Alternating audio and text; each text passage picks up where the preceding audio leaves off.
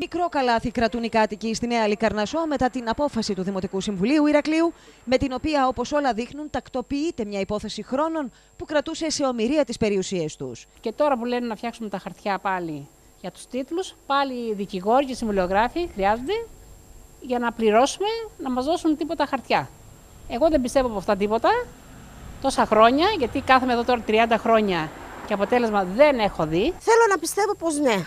Θέλω να πιστεύω πως ναι, γιατί πια μας έχουν ταλαιπωρήσει πάρα πολύ και δεν είμαστε και πολίτες τρίτης κατηγορίας. Μας ε, λένε ότι θα το προχωρήσουν. Μακάρι.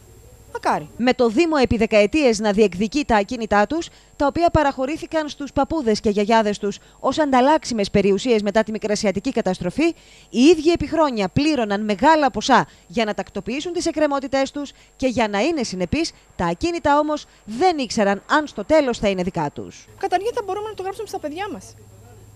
Γιατί αλλιώς δεν μπορούμε να το κάνουμε τίποτα. Δεν, σαν να μην είναι δικό μας. Δεν ξέρεις τι, τι σου ανήκει και αν σου ανήκει.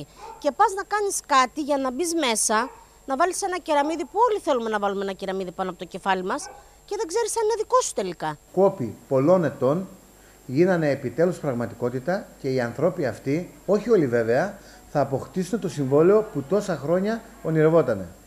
Και χαίρομαι και εμείς σαν ε, κοινότητα Αλικαρνασσού που μετά από τόσα πολλά χρόνια συμβάλαμε, βάλαμε το λιθαράκι που έπρεπε, ανακινήσαμε το θέμα, ένα χρόνο το παλεύουμε και επιτέλους αυτοί οι ανθρώποι θα πάρουν το πολυπόθητο χαρτί της ιδιοκτησίας τους.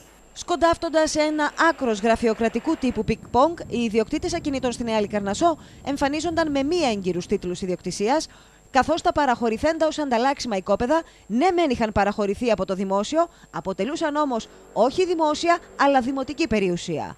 Μετά από χρόνια διεκδικήσεων, ο δρόμος της δικαίωσης έχει ανοίξει, με τους κατοίκους μετά από τόσες δεκαετίες και τόση ταλαιπωρία να διατηρούν ακόμη επιφυλάξεις. Αυτό το σπίτι είναι πληρωμένο από το 99 πρώτη φορά.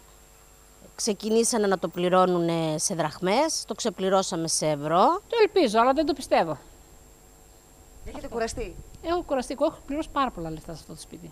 Η εξέλιξη αυτή αποτιμήθηκε ως ένα σημαντικό πρώτο βήμα αντιμετώπισης του προβλήματος που αφορά εκατοντάδες ακόμη οικογένειες και όχι μόνο στην περιοχή της Νέας Αλικαρνασού, αλλά και σε όσες περιοχές εγκαταστάθηκαν πρόσφυγες της Μικράς Ασίας που δεν είχαν ενταχθεί στη ρύθμιση του 1995 και θεωρούνται καταπατητές από το Δήμο Ηρακλείου, λύση που θα μπορέσει να δοθεί μόνο με νομοθετική ρύθμιση. Νομίζω ότι με τα 100 χρόνια της, ε, του μικρασιάτικου πολιτισμού που θέλουμε να κάνουμε πρέπει να γιορτάσουμε και την ε, απόδοση των οικοπαίδων στους ε, δικαιούχους.